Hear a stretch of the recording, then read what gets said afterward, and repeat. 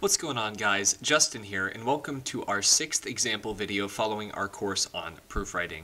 Now today's example video is going to be examples of basic counting principles. So let's go ahead and get into this first example.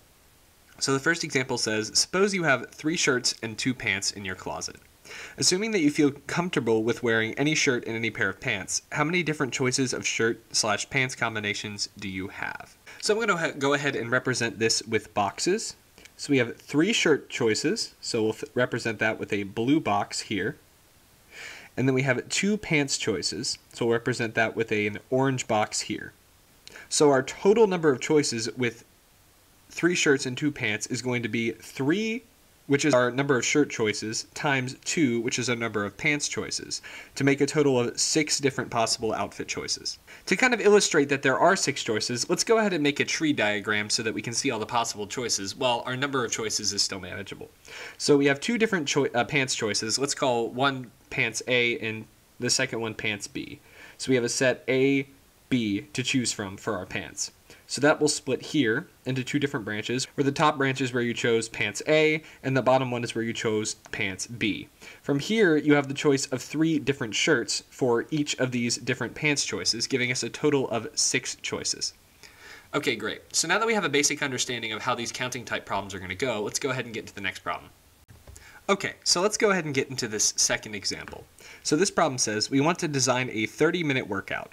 For the first 15 minutes, we will choose an aerobic exercise from running, rowing, biking, or circuit training. So let's go ahead and underline that in blue. So that'll be our first option for our first 15 minutes. We'll have running, rowing, biking, or circuit training for a total of four exercises. So that'll be our first 15 minute block, which we'll represent by this blue box here, which gives us four choices. So for our second 15 minutes, we're going to work on strength or balance training. So we have choices of weight training, TRX, BOSU, resistance bands, and our core routine. And that gives us a total of five options for our second 15 minute block. So we're going to represent that by this orange box here. That gives us a total number of different workouts of 4 times 5 or 20 different workouts. So let's go ahead and get into our next example. So for a third example, we want to know how many two-letter words, which we have in quotes because these don't actually have to be words, start with either A or B. In this case, when we say word, we mean any string of letters with length 2. It doesn't actually have to be a word. So for this problem, we're going to be using the addition principle, where we're going to add the total number of two-letter words that start with A and the total number of two-letter words that start with B. So for our first case, which we'll underline in blue for A, our first letter of our word will be the letter A, but the second letter will be anything from 1 in 26 different options. So this will give us 26. So we'll have a total of 26 different options for two-letter words that start with A. And we can use the exact same logic for two-letter words that start with B. So for words that start with B, our first letter will be the letter B, and we will have 26 different options for the second letter to form a two-letter word starting with B, which gives us a total of 26 options for two-letter words that start with B. And using the addition principle, we can add both of these up to get the total number of words that start with A and B, which in this case will give us 52. Great, so let's go ahead and get into our fourth problem. Okay, for this problem we have a bunch of books on a bookshelf, and we're talking about how we can arrange them. So we have 12 math books, three philosophy books, and five art history books that are arranged on a shelf. We want to know how many arrangements are possible if all books of the same subject are grouped together. So let's go ahead and draw our shelf here. Okay, great. There's our bookshelf. From here, the way to find how many arrangements are possible if all books of the same subject are grouped together is going to be determined by the following formula. So the number of arrangements that are possible if all books of the same subject are grouped together is going to be the number of ways to sort each of the subjects on the shelf times the number of ways to sort each of the subjects individually. Let's go ahead and figure out the number of ways we can sort subjects on the shelf. So we can see we can pick any of the three subjects for this first slot, so that gives us three different choices. Then for the second spot, we can pick any of from the remaining two, and for the last slot, we'll only have one. So this gives us six ways to sort the subjects on the shelf. So for this first part, we will have six. So next, let's calculate the number of ways that we can arrange the math books. So here I have drawn out 12 squares to represent each of the 12 spots the math books could go in while they are grouped together by subject. So for the first position, we'll have 12 choices. Any of the 12 math books will do. And we can see we will have 12 factorial different ways to arrange the math books. Next, let's look at our philosophy books. So we have three philosophy books. which means similar to the math books, we will have three factorial different ways to arrange these philosophy books. And lastly, we'll have our art history books. And for those, we will have five factorial different ways to arrange our art history books. Great.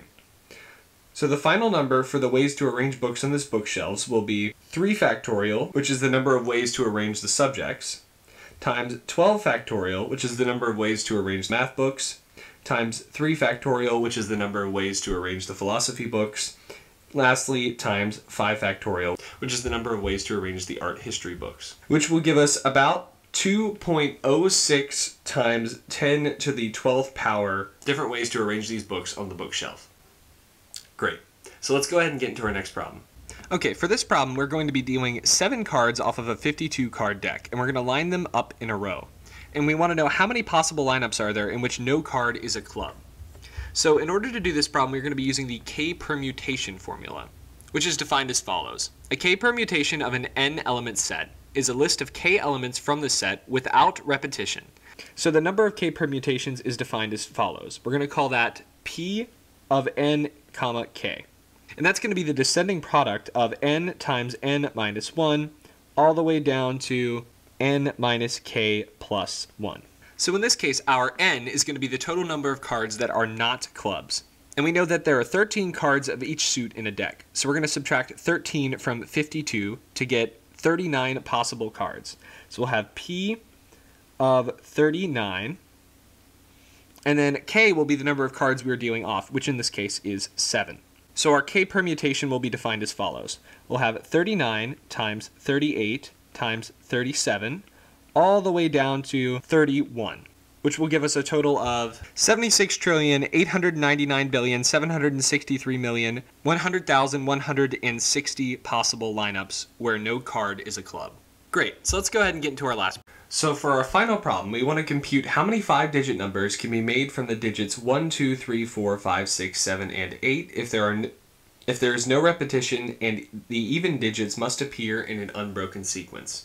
So we're going to do this by breaking up the five-digit numbers into cases where there is one even number, two even numbers, three even numbers, and four even numbers. So let's start with a case where there's one even number. So for all these different cases, I will be representing the odd numbers by blue squares and the even numbers by green squares. So let's go ahead and draw out four squares for our four odd possibilities, and then our one even square for this five-digit number. So for our first odd number, since we have no repetition, so for our first odd number, we can pick any of the odd numbers available between 1 and 8. So we'll have four different choices. For our second odd number, since we don't have repetition, we'll only have three choices, and then two choices, and one choice, and so on. And for our only even number, we will have all four choices of even numbers available to us. Next, we want to multiply this by the number of starting positions we have for our even number to account for our unbroken condition in the problem statement. So in this case, the even number can go anywhere, so we'll multiply this by 5, which will give us a total of 480 for this case where there is only one even number. Great. So let's go ahead and get into the case where there's two even numbers. Okay, great. So to start off the case with two even numbers, let's go ahead and determine the number of possible positions for these even numbers to be in. So we have one case where they're at the end here, we have one case where they're moved over one spot, one case where they're in these two spots, and our last case where they're in these two spots. They can't be spread out because we have a condition where they have to be unbroken. So these are the only four possibilities. So we'll go ahead and write that up here in front. We have four different possible positions for our even numbers to be in. Next, let's go ahead and determine the odds for each of these digit slots. So for the first odd number, we'll have 1 in 4, then 1 in 3, and 1 in 2. And then for our even numbers, we'll have 1 in 4 and 1 in 3 odds. So let's go ahead and calculate how many numbers we could have of this form. So if you multiply this out, you should get 1,152 different possible five-digit numbers of this form. Great.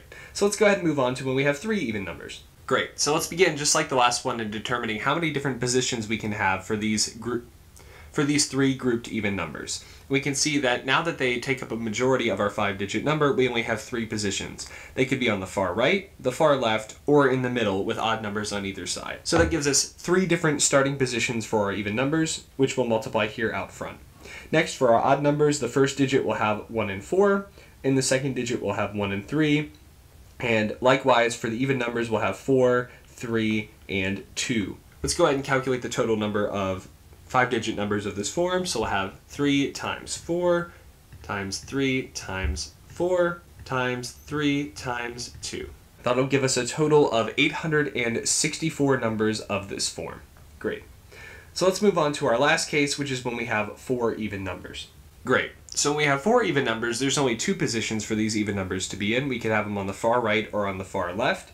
So that gives us two possible starting positions out here out front. And then for our odd number, we'll have four different choices.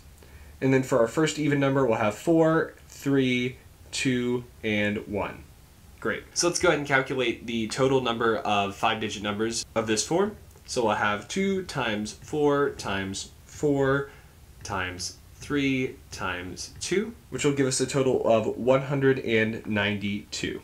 And using the addition principle, if we add up the numbers for all of these cases, we'll have the total number of five-digit numbers of this type. So that'll give us 2,688 different five-digit numbers with these conditions. So that finishes our last problem off, and that's a good place to stop.